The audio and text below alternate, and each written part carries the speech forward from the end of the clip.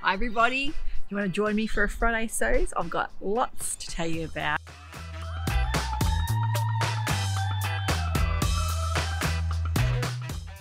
Well, it's a perfect day to catch up for a cuppa out here because the temperature's quite nice. It's 17 degrees. There's no rain. Just had a couple of showers a bit earlier and birds are tweeting. And I thought I'll bring you out and see all of my beautiful trees, how they look this time of year because I think they're just as beautiful through the winter period because look at the, look at the framework behind the leaves. This is my mulberry tree and every year when the leaves fall off, I'm just amazed to see that structure behind uh, behind those leaves and how beautiful it looks. So I thought it might be nice to uh, get a, bit of, a little bit of sunshine, a bit of vitamin D while I can. Now, I know most of you are already subscribed that watch the channel, but if you're not and you don't want to miss out on any of my episodes, why not think about subscribing to the channel and also hitting that notification bell if you want to be notified when all my new episodes are coming out let's talk about challenges, what's happening in the sewing community. I'm all about supporting other sewers, and I know that SewJoei has got a wonderful t-shirt challenge happening for the month of June. You can make a t-shirt. There's a lot of prizes in store as well. I'll pop up some little cards so you can see exactly what's happening there. And I think she did. would just love it if everyone got on board and sewed up some kind of t-shirt for you guys in the Northern Hemisphere that's all about the warmer weather. This is a really fun, easy challenge. We all know how great t-shirts are in the wardrobe and just that you can never really have enough t-shirts.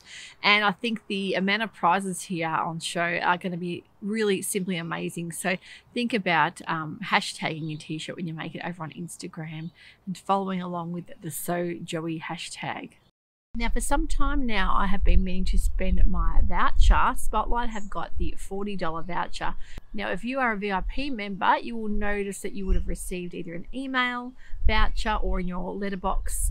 And that is if you spend $100 in Spotlight on anything, you get $40 off. So $40 voucher.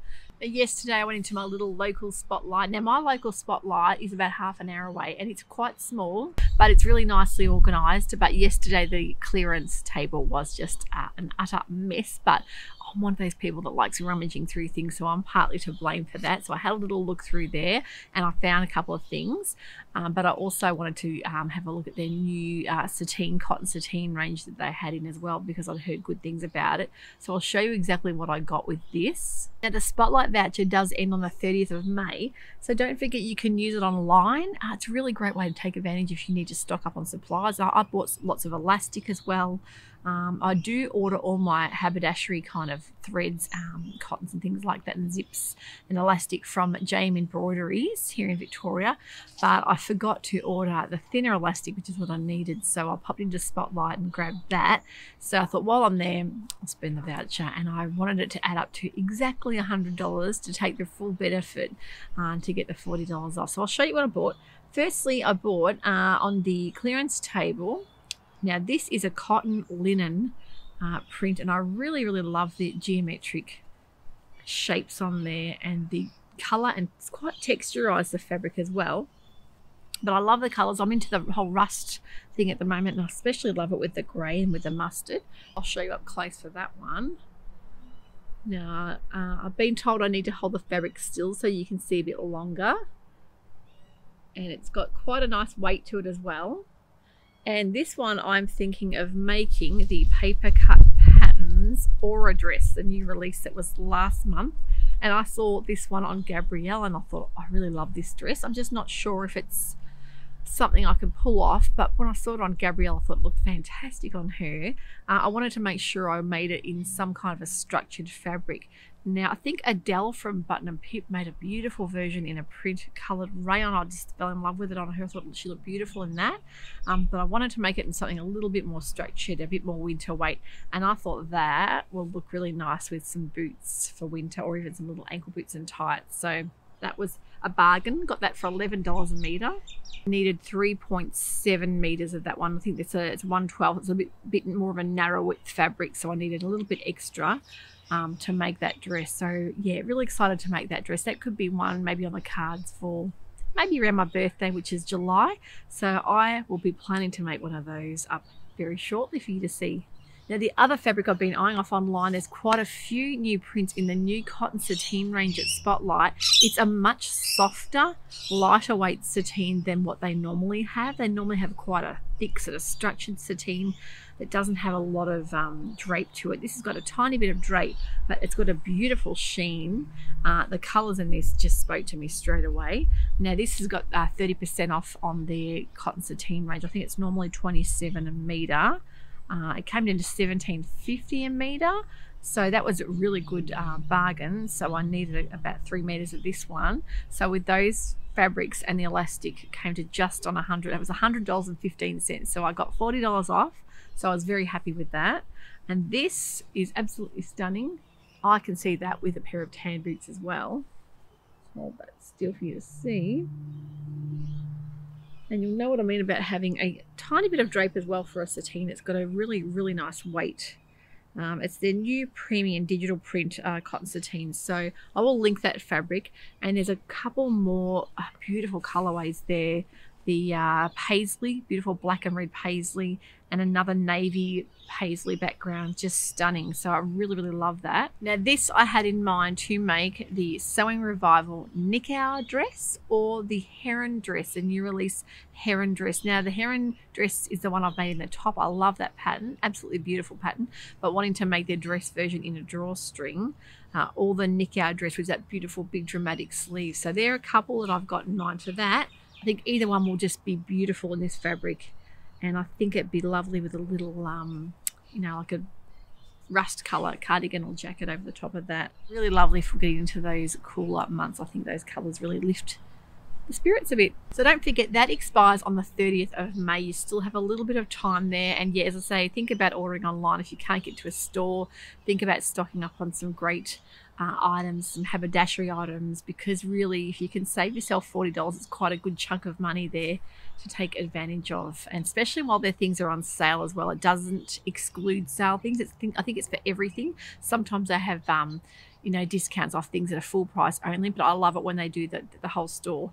Basically, you can go into and get yourself some Manchester or some pillows and, and some fabric as well. What I'm wearing, of course, forgot to mention at the start, as usual, this is the Hazelwood top from Tessuti Patterns. Now this is a real favorite of mine. I don't know why I haven't made more of these because I really love the shape of it. It's a really nice boxy kind of shape knit. I'll show you up close. The fabric is really bright and leery.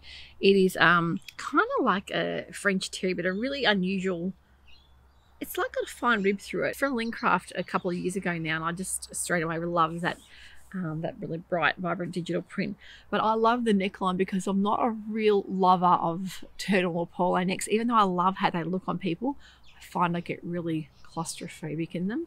So if I make them, it has to have a bit of room. But I love this. It's just a perfect neck sort of height for me. And I love the way the cuffs and the facing, the hem facings finish. You'll see it's got a really nice deep hem facing on that. And that gives it a nice swing, a nice structure as well. So um, and the Tessuti visit that I did last week, a lot of you loved that. I'm so glad you all enjoyed that. I have listed the Ponte check that I actually bought. It wasn't online when I when I showed the video, but it is now. If you're interested in purchasing that Ponte check, I have listed it in my video notes now. So did any of you pick up the free pattern that Fibremood uh, I did post on my Instagram? If you haven't followed me on Instagram, head over there and follow Instagram is where I share a lot of sales that I might see happening through the week as well. And this one was a free pattern from Fibremood. If you're a subscriber to Fibremood or if you just love Fibremood itself, think about subscribing to their website because I actually picked up a free pattern. Um, I think there was uh, quite a few people sharing this, which was great. So I got to see that. And I ended up picking up the honey pattern from Fibremood, which is a beautiful little uh, blouse with a gorgeous collar with a little frill around it and I love the way they've styled it in a, lovely plaid, like a flannel checked soft fabric there to make a great little blouse with a pair of jeans. So that's one I've got planned to make as well. So thanks to Fibremood for that. I know I've spoken to you before about Pitt Trading and how great their Friday night specials are. I have to show you what I picked up last week. They usually send you out a, an email stating they're going to have 6 p.m. sale happening and it's for their designer ends and any offcuts and remnants they might have. Now I picked up some great fabrics from there last week and firstly this one is a beautiful knit um, it's 1.4 meters of a 150 width uh, mulberry and it's a brushed jumper knit um, that is I think for $20 I got 1.4 meters of that and it's absolutely beautiful and I'm thinking of making some kind of sweater or maybe the Amara vest from Tessuti Patterns and layering that I think that would be beautiful to wear. Have a look at the color of that. It's absolutely stunning. Really, really pretty. And what a great bargain. I think their quality at Pitt Trading is just amazing. And their designer offcuts, of course, are great to pick up as well. The other thing I bought from them was some beautiful brushed jumper knit in this lovely rust color, which would go perfectly with my check fabric from uh, that I purchased the other day too. Uh, 1.2 meters for $12. It's paprika marl jumper knit and I think it's a 140 width. So that was a bargain as well. Love that. Really, really soft, cuddly marl fabric. But yeah, Pitt Trading is a great place to pick up some bargains and some remnant offcuts.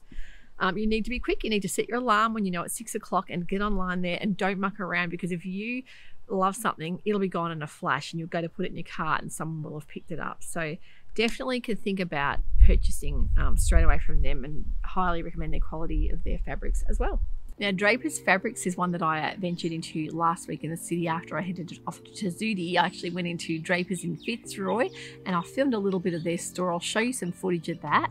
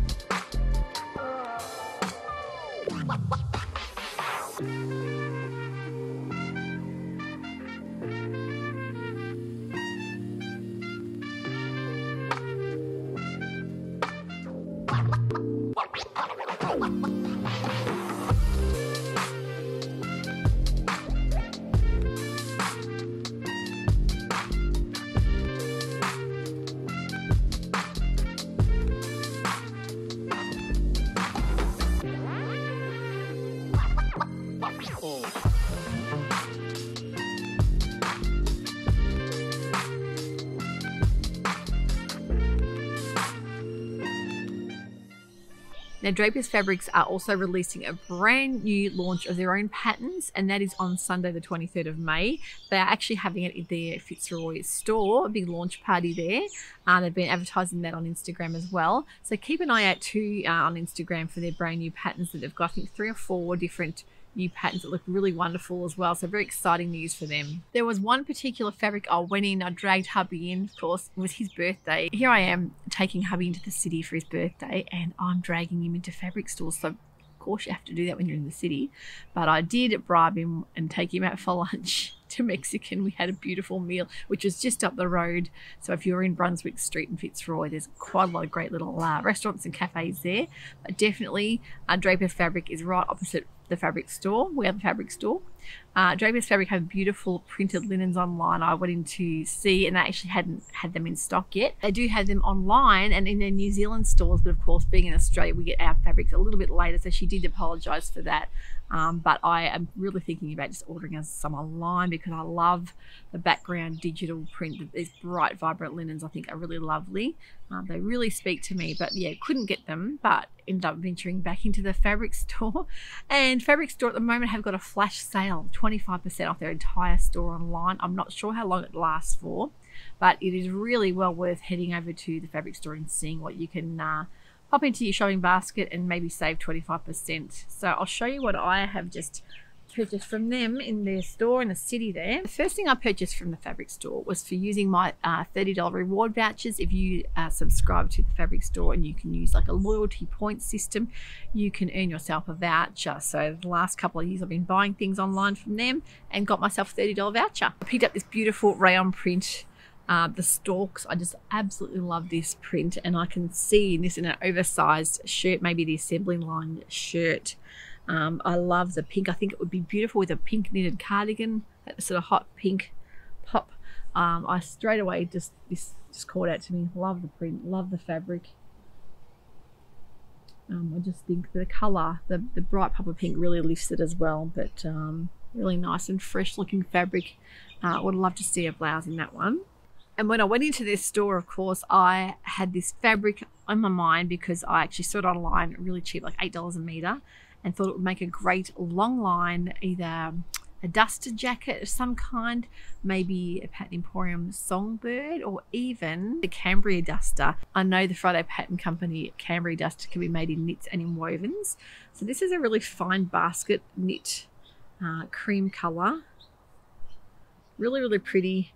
And I got four meters, of course, because the duster does take 3.9 meters. It's probably way too much fabric, but I think that will look really lovely um, over the top of a lot of my blouses at the moment. It's quite warm and snuggly, um, but I could also see it in the Pattern Union uh, Felix long line jacket if you use maybe a braided edging, which I have seen um, like a plaited edging in Spotlight. I think it would look really lovely with that. Um, this is an edging. So that one went in with one idea and I've come out with about three other ideas. This happens to me all the time, but I think, look, for the price of that fabric, it cost me $32 for four meters of fabric.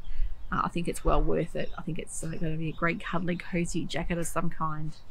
I've also noticed that Cloth Edit Gabrielle has put a lot of new fabrics on her new range there. She's got new uh, Japanese cotton fabrics and she's also got some beautiful new linen and silk mix prints that are just absolutely stunning. There's a beautiful hydrangea print, uh, a couple of other, there's a Noosa print. I think there's a lovely fern with a beautiful iris flower in there as well. So very, very pretty fabrics there from Gabrielle. you may not know this, but I've actually been very busy sewing. I've got quite a lot of new makes to show you.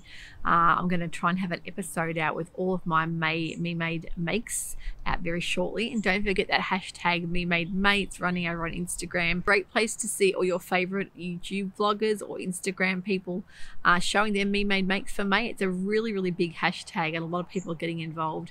And it makes you really appreciate the whole sewing community. The fact that you can create your own wardrobe with Me Made items is very empowering. Coming out shortly, I've also got a new video with all the brand new patterns, exciting patterns coming out for June. There's quite a few new ones I need to tell you about. I think you're going to love. Um, what I've been making this week, I'm going to leave for a little surprise, but I've also got a new pattern that I bought from Hey June Handmade, and that is a Sitka sweatshirt. Now, I've shown you that one before. I really love the um, chevron striped version. This is uh, either 0 to 20 in a B cup or it is, I think, 14 to 30 in a D cup. So you need to work out your um, bust cup measurements for that one. And even though I'm a D cup bra, I always go for the B cup. And I decided to have a look on Fabric Hunt at their beautiful Mind the Maker sweatshirting range because I've heard really good things about the quality of that.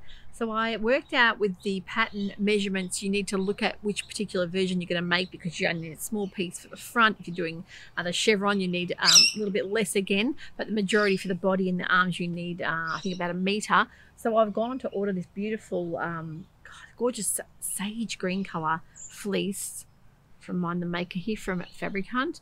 And I just think that is absolutely stunning.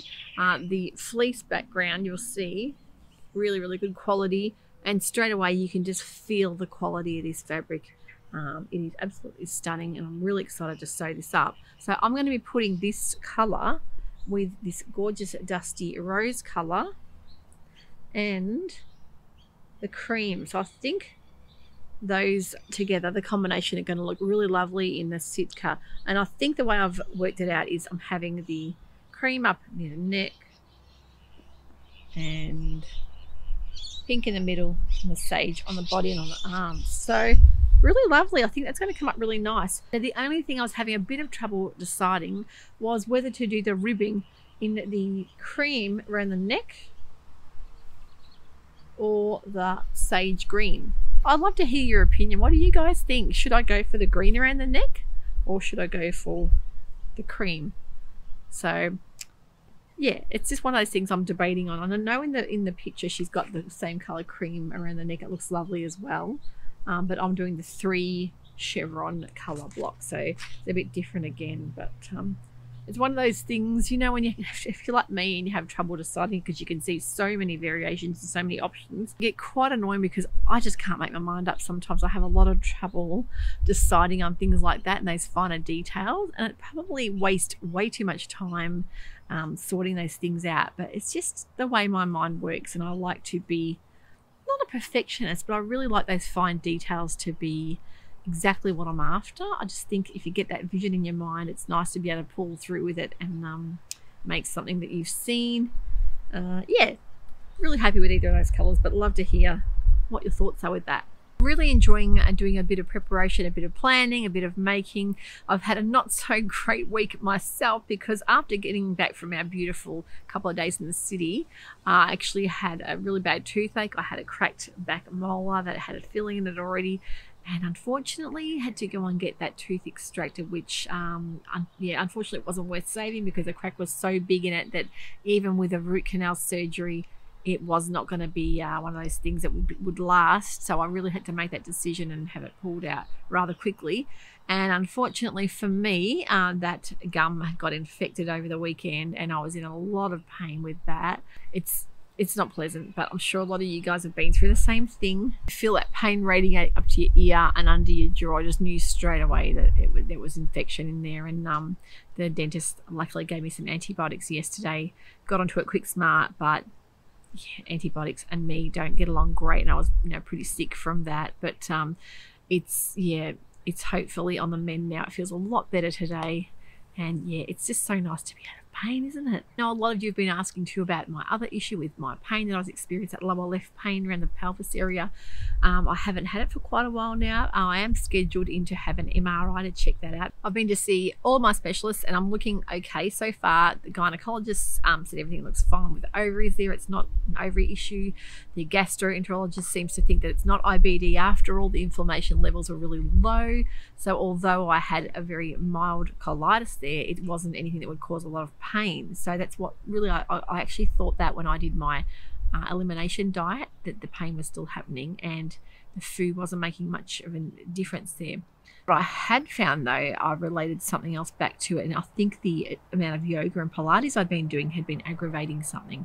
And my acupuncturist actually said to me that she felt it was a muscular issue. And I actually thought the same thing. So she actually had been treating me through for the psoas muscle, which is that rather large muscle on each side that um, basically is very, very deep internal muscle that can create a lot of problems that can trigger issues with the gut as well. But I think after having, you know, lots of babies, we had five kids, there's some kind of damage there, or maybe even an internal hernia, because from what I've read, uh, hernias in women can be very, very hard to pick up on scans. And you know sometimes things like MRIs can pick that up or even endoscopy. So that is something I'm looking towards really sorting out because of course I've ticked every other box and everything's looking good um, yeah, so no IBD and no other gynecological condition there. So I'm thinking it has to be a muscular issue. Uh, and saying that the acupuncture has helped quite a bit. And I'm also kind of stopping my yoga and Pilates, which is really sad because I really enjoy them. But I think till I sort out this issue and find out what's going on with me, I yeah, I think I better back off on all that intense core work. It, yeah, it could be aggravating something, I'd say. So who knows? But yeah, I'm just a bag of misery at the moment, aren't I, everyone? no, seriously, I think uh, really one of my uh, daughters, uh, one of the twins, she's doing her fourth year of OT, occupational therapy, showed me a chart and it, just, it was a graph on how many women, middle aged women, are suffering with chronic conditions. And it was off the scale compared to men. As far as our chronic health conditions go, uh, women far outnumber men, and we are dealing with so much. I just think uh, a lot of us are, you know, maybe the head keeping families together, keeping them running, working as well. There's a lot of different issues there that we're going through. So if you're um, dealing with a chronic health condition, I am really sympathising with you there because I think it'd be incredibly hard. We need to have more support there and look after ourselves a bit more. And for me, my support and looking after myself is more sewing because it's one thing I can do that I can block the rest of the world out, uh, any worries that might be happening, and really a bit of self care doesn't hurt, does it? Thanks for listening to me today. It's nice to have a bit of a chat and to let it all out to somebody. And I really hope you've all got someone you can chat to if you've got any issues or problems, or even just someone to talk about sewing with. It's great to catch up with you very shortly for a new episode. Thanks for sticking around. See you soon. Bye for now.